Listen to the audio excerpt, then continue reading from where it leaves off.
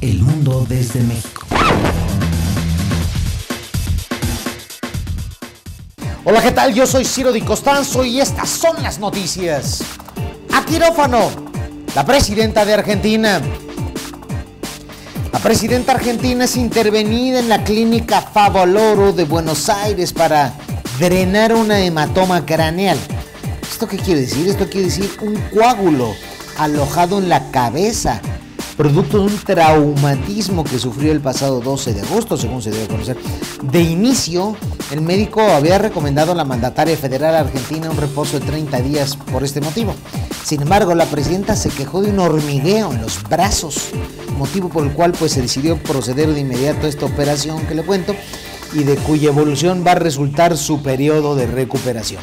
Cristina Fernández, 60 años de edad, padece problemas de tensión. De hecho, el año pasado le extirparon la tiroides.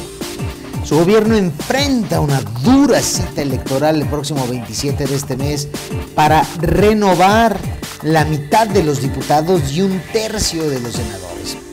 Así que, para decírselo de una manera más clara, se juega pues el control del Congreso y en ello la permanencia de Cristina Fernández de Kirchner e incluso quizá hasta la gobernanza de ese país. Le vamos a mantener al tanto, por supuesto. Me voy hasta Bali. Atención, Asia exige a Estados Unidos soluciona la parálisis.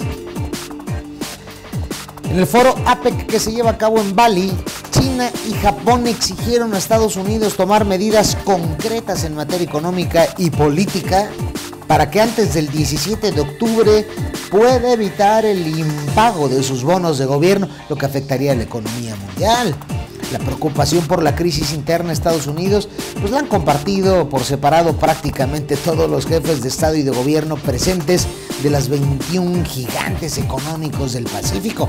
Claro, con la notable ausencia del presidente Obama. Este grupo, del que le digo, para que usted se dé una idea, este grupo que comparte la cuenca del Pacífico genera el 54% del PIB mundial y el 44% del comercio de todo el planeta Tierra, ni más ni menos. En el caso del Acuerdo Transpacífico, que es esta zona de libre comercio en la que participarían 12 de estas economías, entre las que se encuentra México, por cierto, avanzaron en las negociaciones y acordaron que concretarían la totalidad del acuerdo comercial antes de terminar este año.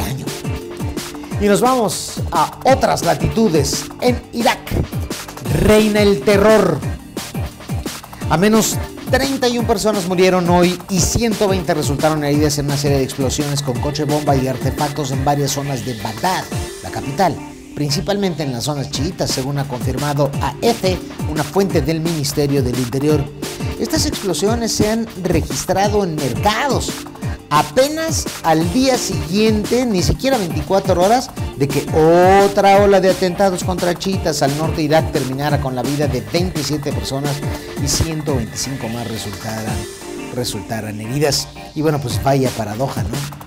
Son los resultados de la llamada guerra contra el terrorismo del expresidente de Estados Unidos, George Bush, que ha convertido en Irak en un santuario del terrorismo. Bien, imponen el caos los anarquistas. Una marcha en apoyo a los maestros que reúne a 10.000 personas terminó en violencia generalizada y enfrentamientos con anarquistas enmascarados y la policía. La refriega duró varias horas, los enmascarados depredaron edificios, incendiaron un autobús, rompieron vidrios de varios comercios y vandalizaron prácticamente todas las sucursales bancarias de la zona.